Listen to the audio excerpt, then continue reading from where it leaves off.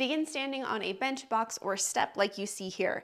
If you're doing this at home, you can perform it with a step that you might have around your house, like the bottom of a staircase. Please do me a favor, and if you're doing this on a staircase, do it on the very bottom step because we don't want you to fall. Stand on the edge of the step and shift your body weight to one side.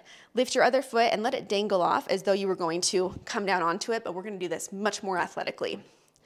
With your foot dangling, now press through your stationary planted foot and we're gonna come down into a squat. So catching ourselves on the floor. Press through it, come down to that squat and up. Once again, it was, let it dangle, press through that planted foot, squat and stand.